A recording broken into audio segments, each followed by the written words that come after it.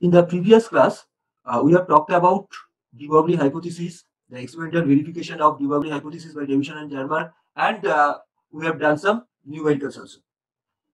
Now, whenever we talked about de Broglie hypothesis, the first thing, the first thing we have noted was that whenever a particle is in motion, then only a wave is associated with it. And from our logical thinking, we could understand that uh, since the wave is always associated with the particle, since the wave is always associated with that particle, the velocity of the wave must be same as the velocity of that matter. That means my point is whatever be the velocity of the particle, that should be the velocity of that matter.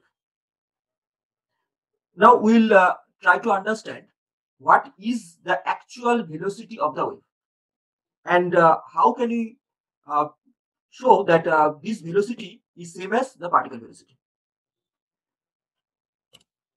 Now, whenever we talk about a wave, we can represent that wave by this way. In your class 12 uh, understanding of waves, you know that any wave can be represented either by sine wave or cos wave. Here we are talking about a sine wave. So if we try to draw that, this is how a sine wave looks like. It goes on and on. Now, this is your amplitude, the maximum maximum change in that wave. So this is A or amplitude. So this is your A. Yeah, instead of sine wave, it can be a cos wave also. Only the difference would be that in case of cos wave, it starts from maximum value to 0 because we know at angle 0 cos value as maximum that is 1 or uh, on contrary for a sine wave it starts with starts from 0 so this is your a the amplitude. Next omega. Omega is called angular frequency if you remember and it is related with normal frequency nu by 2 pi nu. Nu i am saying as normal frequency. That means number of waves passing a particular position per second. Number of waves per second. Number of waves per unit time. That is frequency. And another quantity is k. What was k? We know about wavelength. Wavelength is separation between two consecutive crests. So this is your wavelength. Uh, separation between two consecutive waves or separation between two consecutive troughs. So this is your wavelength. Separation between two consecutive crests or two consecutive troughs. That is called wavelength, which is a fundamental property of any wave. And this k value, which is called wave number, is nothing but 2 pi by wavelength.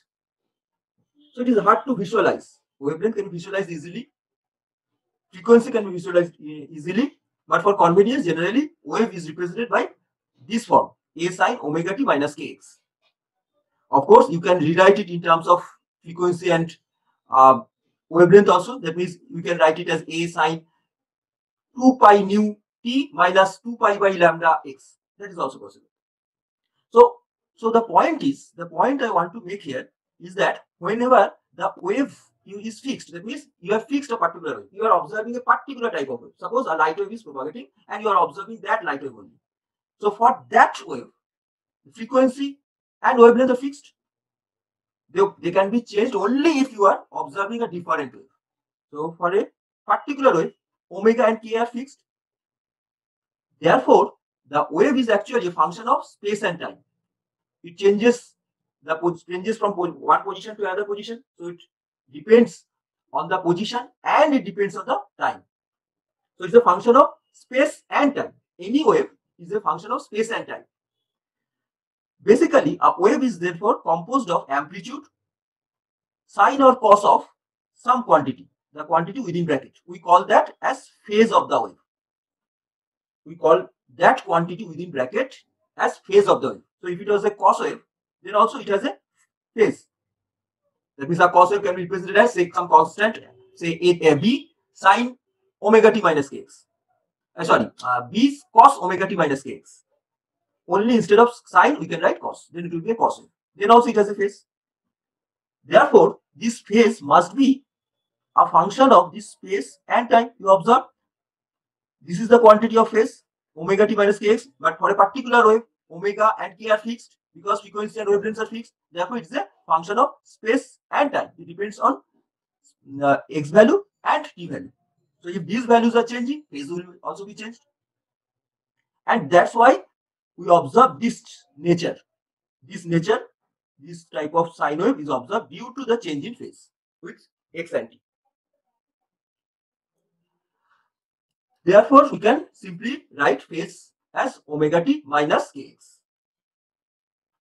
Now, phase as we have observed, phase depends on two quantities basically, x and t. Just a second.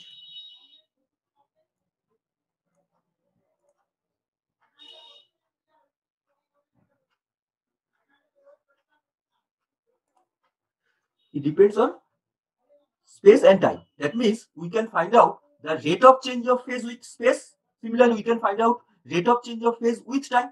Now I am interested to observe rate of change of phase with time only. I am interested to observe the rate of change of phase with time only. Why? We will understand later. Why I am only observing the change in phase with time. Therefore, what will be the rate of change of phase with time? It will be del phi del t. Now, one thing observe, instead of writing d phi dt, I am writing del phi del t. Hopefully, you understand that uh, why I am using this partial differentiation. Phi is a function of space and time, function of x and t. That's why I'm only taking the rate of change of phase with time. That's why del phi del t. If I, if I was interested in rate of change of uh, space with x, then I should write del phi del x, not d phi dx. So if I differentiate this phase with respect to time, so it will be omega minus k dx dt. x change in x is only occurs with time, so dx dt, not del. So del phi del t becomes omega minus k dx dt. So this is the rate of change of phase with time. Simple. This is your y equal to a sine omega t minus kx is, your complete wave. Now, amplitude part is constant.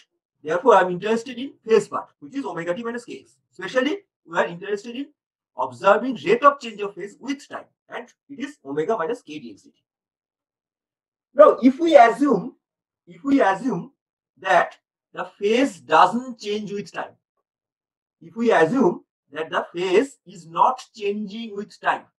That means if you observe the phase at this instant and if you observe the phase after 5 minutes, if you observe the same phase after 7 minutes, if you observe the same phase, that means the phase is not changing with time. If we assume that, then d phi dt would be 0. If phase is not changing with time, that means rate of change of phase with time is 0. So under that case, under that case, our omega minus k dx dt should be 0. Our d phi dt, del phi dt was omega minus k dx dt. That was your phase, uh, rate of change of phase with time. If we assume the phase remains constant with time, if we assume phase remains constant with time, that means del phi del t is 0. Therefore, omega minus k dx dt is 0. Here I am writing a phi here to remind ourselves that this one, this condition, this condition is valid only when phase is constant. When phase is constant. This phase is constant, rate of change of phase with time is also zero. And that's why omega minus k dx dt at constant phase equals to zero. So from that we can write it dx dt at constant phase, dx dt at constant phase is equal to omega by k. dx dt at constant phase is omega by k. Why? have we obtained this? Now, tell me, what is this quantity? dx dt, rate of change of position with time. Rate of change of position with time. What is this? Nothing but the velocity. And this velocity occurs at constant phase condition. This, for, this is for constant phase condition. So we call that velocity as phase velocity. We call that velocity as the phase velocity of the wave. Therefore, this P symbolizes that phase. So this velocity, which as we called it phase velocity is equal to omega by t. And remember, this is the velocity with which a normal wave propagates. That means whatever uh, electromagnetic wave you think of, whether it is light, X-ray, gamma ray, whatever electromagnetic wave you think of, whenever it is a single wave, its velocity is phase velocity. Whenever we call it, we say that velocity of this wave is this. That means we are mentioning the phase velocity of the wave. In your course subject, electronics and communication, you will come across this phase velocity, group velocity so many times in higher classes, in higher semesters. So this is your phase velocity, which is omega by k. So this is the velocity with which an electromagnetic wave propagates when its velocity, uh, when its phase remains constant with time. That means phase doesn't change with time. Now the problem with it is that we are not very familiar with this omega and k. You cannot visualize. Can you visualize wave number? It's very hard to visualize because wave number is represented as 2 pi by lambda. Lambda can be visualized. Distance between two crests or two troughs. Frequency can be visualized. Number of waves passing per second. But omega, that's why we need to represent this phase velocity in such a way that we can visualize the quantities associated with it. How can we do that? Now, from our de Broglie hypothesis, we know the relation between wavelength and momentum. Remember, lambda was equal to h by p. That means p equals to h by lambda. That was your de Broglie hypothesis. The p equals to h by lambda, where h was the Planck's constant. We have used it so many times right now. So p equals to h by lambda. Now we are writing it in slightly different way. I am multiplying 2 pi and dividing 2 pi. That means I am dividing h by 2 pi and again I am writing 2 pi here so that it can be written as 2 pi by lambda. Why I am writing it? Because we know 2 pi by lambda, this quantity is nothing but wave number k. We need to replace this k. We are not uh, very fond of this wave number. So we need to replace this k because we cannot visualize this. So 2 pi by lambda can replace that k. Now h by 2 pi, this quantity in your second module also you'll observe this quantity appears so many times in quantum mechanics that scientists gave a particular symbol for it because we need to write this quantity h by 2 pi so many times that a new symbol is given to it. It is h and there is a cut here. It is called h cut symbol. It is called reduced Planck constant because we are dividing Planck constant h by 2 pi. Planck constant is reduced. So we call it as reduced Planck constant, h cut. So instead of writing h by 2 pi, we can write directly in this way, h, just write h and then a cut. Therefore, therefore h by 2 pi is h cut and 2 pi by lambda is k. So we get p equals to, we get p equals to h cut k. From that we can easily write k as p by h cut.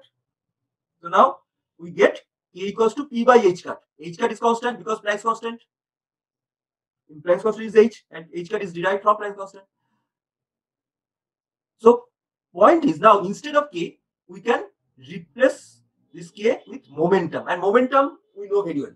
Momentum means whenever particle is in motion, then its uh, product of its mass and velocity is momentum. We know it. We can visualize momentum. So it's no problem. So we can replace k by momentum. So this one done. Now omega. Again from uh, energy quantization, from Planck's law, we know that E equals to h nu. E equals to h nu. E is the energy, nu is the frequency of that wave. Nu is the frequency of that wave. Again, what we'll do, we'll multiply and divide by 2 pi. That means we can write it as h by 2 pi and then 2 pi nu. Hopefully you understand now why we have written it in this way because 2 pi nu, this quantity is nothing but omega. This is omega the angular frequency. And h by 2 pi is reduced Planck constant. Therefore, it is nothing but h cut omega. So E is h cut omega. From that, we can write omega as E by h cut. So now, both of this quantity, omega and k, can be represented by two similar, uh, two uh, known quantities, momentum and energy. Both we know very well. Therefore, we can replace this omega and k by these two forms. Therefore, Vp equals to omega by k. Now, instead of omega, we can write E by h cut, E by h cut, and instead of k, we can write P by h cut. H cut, H cut cancel out. So we have P equals to Vp equals to E by P. That is the expression of phase velocity. So phase velocity can be represented by omega by k or it can be represented by energy by momentum. It can be represented by energy by momentum, ratio of energy and momentum. That is phase velocity. So if, if, if omega and k are supplied, we can estimate phase velocity or if energy and momentum are supplied, then also we can estimate the phase velocity. In fact, if you know momentum, you can estimate energy. From relativistic mechanics, you can estimate energy. So E and P will be known, then Vp, that is phase velocity, will be known. So what is phase velocity again? Phase velocity is the velocity of a single wave when its phase remains constant with time. When the phase doesn't change with time. So this is the type of velocity associated with a single wave. But uh, in many cases, the situation comes that instead of a single wave, a number of waves are propagating. A good number of waves having slightly different frequency or wavelength are propagating the same direction. That means a wave packet is propagating. A group of waves are propagating. A group of waves are propagating in the same direction. And all of them have almost same wavelength of frequency. I'm not saying they have same uh, same wavelength of frequency. They have nearly same wavelength of frequency. That means their frequencies are very close to each other. Think of um, uh, 20 people are running in the same direction. They have different velocities, but the whole group is moving with a particular velocity. The whole group may move with a particular velocity. Think of it. 20 people are moving, each may have different velocities. But when you look at the whole group, the group is propagating with a different velocity. Same thing, whenever instead of a single wave, a number of waves are propagating in the same direction, then if we talk about the whole group of waves or wave packet, when we talk about the whole group or the wave packet, then that packet, that group may have a different velocity than individual velocity. Individual velocity means phase velocity. What is that velocity? What is the velocity of that group? The velocity of the whole group. What is that velocity? To understand that, we call that velocity as group velocity. To understand that, first we consider two, uh, two waves only. Two sine waves we consider say. And what are the characteristics? That the frequency or wavelengths are very close to each other. Frequency and or uh, wavelengths are very close to each other. That means their angular frequency, that is omega, and uh, k are also very close to each other. So if I say the change between the two waves in terms of angular frequency is delta omega and change in terms of propagation constant or uh, wave number is delta k. Therefore, if we say one wave is a sine omega t minus kx, just like the previous case, this is one wave. Then for other wave, we assume amplitude remains constant for simplicity, nothing else. It's not mandatory that amplitude should be constant. Different people may have different characteristics. Like similarly, wave one two different waves are propagating, they may have different characteristics. Like their amplitudes may be different. But for our simplification in calculation, we are assuming their amplitudes are same. So for the second wave, amplitude is A again. It is also a sine wave. What is the difference? Instead of omega, its angular velocity is slightly changed. So it is omega plus delta omega. Similarly, instead of k, its propagation constant or wave number is slightly different. Say k plus delta k. That means we can say the wave can be represented as a sine omega plus delta omega t minus k plus delta k x. That means if suppose um, uh, one frequency was 5.2 terahertz, then it will be say 5.21 terahertz like this. Slightly different frequency and wavelength. That means slightly different omega and k. Now these are the two waves and these two waves are propagating the same direction. So from your class 12 optics you know if two waves are propagating in the same direction they superpose on each other. And under that condition the resultant wave the resultant wave has a displacement which is just the sum of the displacement of the individual wave. That means for the resultant wave, the displacement will be just sum of y1 and y2. That means we just add these two. We just add these two quantities. So you observe it is like sine C plus sine D formula, sine C plus sine D formula. And we know uh, sine C plus D equals to 2 sine, oh, sorry,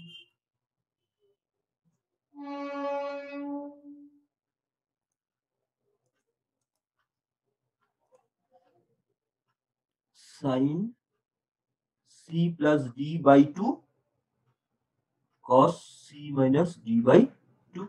That is the formula sine c plus sine d. So we can write it as 2a 2a because these two a, uh, a's are there and from the formula we get these two. Then sine I'm writing sine part at the end. Sine c plus d by 2. So we just add omega t with this quantity. So 2 omega plus delta omega by 2 t. Similarly, minus k plus this quantity. So 2k plus delta k by 2. Sine c plus d by 2 done. Then cos c minus d by 2. So this minus this or since it is cos, you can write c minus d or d minus c, no problem. So it will be, we take it t minus t into delta omega minus kx into delta k by 2. Now the point is, in our assumption, we have said this delta omega and delta k, these quantities are very small. They are very small. So delta value, delta omega value with respect to 2 omega is so small that we can neglect it. Delta omega, if delta omega is present alone, then we cannot neglect it. Like here, delta omega is present alone. We cannot neglect it. But when the omega is present, in comparison to omega, delta omega is so small that we can neglect it. Therefore, therefore, if we neglect this delta omega and delta k, this quantity, the sine quantity, will be twice omega by 2, that is omega by omega t, minus this will be neglected. So 2k by 2, that is k. So kx. That means we have sine omega t minus kx because these delta quantities are very small in comparison to the quantities uh, associated with them like here 2 omega here 2k and next cos part it remains same so cos half delta uh, t delta omega minus x delta k that remains same this whole quantity that's why i have written it here only this whole quantity, if I say this is A, then, then you observe the resultant wave, the resultant wave can be represented as A sine omega t minus x, just like normal wave. Just like a normal wave, just like a normal wave, like this normal wave. A sine omega t minus x. Here it is also capital A sine omega t minus x. What is the basic difference? Basic difference here is that in normal case, this amplitude was constant. Amplitude value was constant. But here your capital A is not constant. You observe it depends on t and x. It depends on space and time. So it's not a constant quantity. This amplitude is not a constant quantity.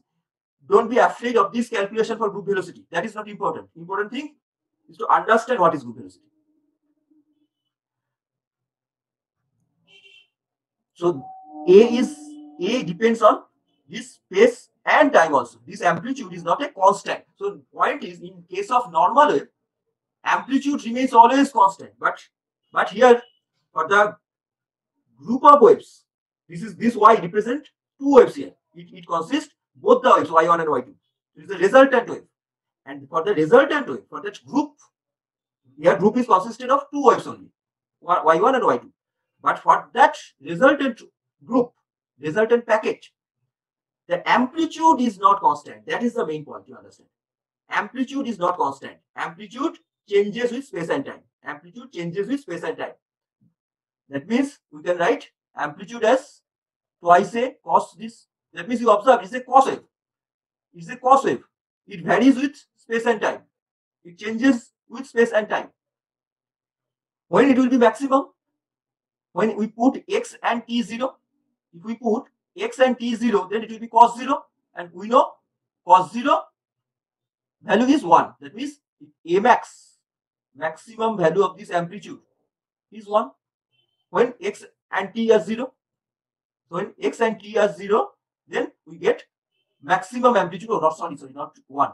this this value is 1 cos value is 1 but we have this 2a it is actually 2a so maximum amplitude is 2a which we observe when t is 0 and x 0 if we so and this amplitude is not constant that means it is maximum value is 2a then it reduces from 2a it reduces from 2a becomes minimum then again starts increasing and goes minus 2a that means 2a value in opposite direction. Again changes and the process continues so after certain interval that is after certain value of x and t it will again be 2a i'll show you the curve then it will be helpful to understand. Uh, so after certain value of x and t it again comes back to 2a if we say these values are t dash and x dash. Any arbitrary value say? That when x equal to x dash and t equal to t dash then amplitude becomes 2a again. That means amplitude becomes maximum again that and we know that in that case when we get amplitude maximum when cos part is zero that means this quantity when this quantity will be zero then cos value is maximum one value Therefore, we can write half t dash delta omega minus x dash delta k equals to 0. So from that, what we can write x dash by t dash equals to delta omega by delta k.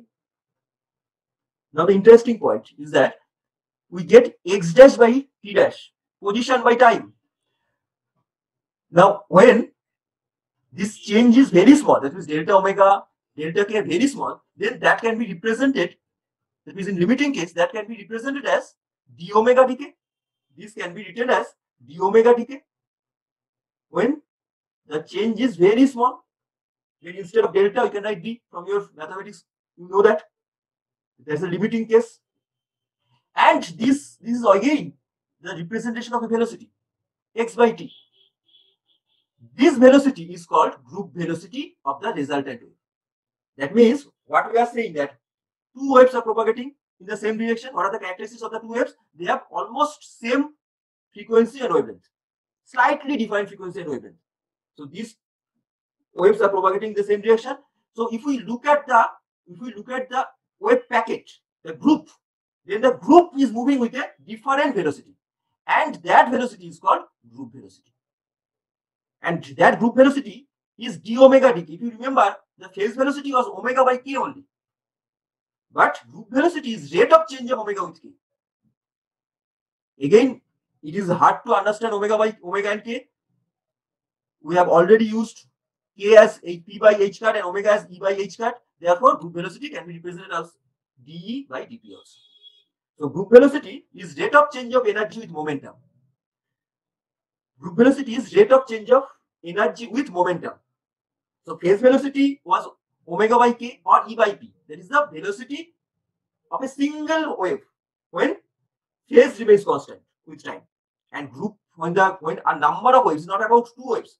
It can if we instead of two waves, if we do it for ten thousand waves, we'll get the same formula. That is when the number of waves with different frequency wavelength are propagating in the same direction, then the group that is which consists of that 10,000 waves say have a as a different velocity and that velocity is called group velocity. That means if we observe this is the these are the two waves. These are the two waves. This is y1 say this is your y2. You observe, you, they have started from the same point. You see, they have started from the same point. But as we move, their phases are changed. You observe now phases are changed. The peaks are not at the same position. Phases are changing because because their wavelengths and frequencies are not exactly same. So that is the representation of the two waves. And you observe amplitude are constant. Amplitude is constant. And this is the representation of the resultant wave. You notice the amplitude is not constant now. Amplitude changes because that we have observed that capital A that representing the uh, amplitude of the group of waves is a function of space and time. That's why it's changing. It becomes maximum. That maximum value we have observed that is 2a and becomes almost zero. Then again increases, becomes 2a after certain value of x and t. After certain value of x and t, it again become maximum. So that is the representation of group of waves. So this is y1 plus y2. And this wave packet, this whole thing moves with a velocity, defined velocity, and that velocity is called group velocity. So this is group velocity, and in these cases, these are phase velocity. I'll show you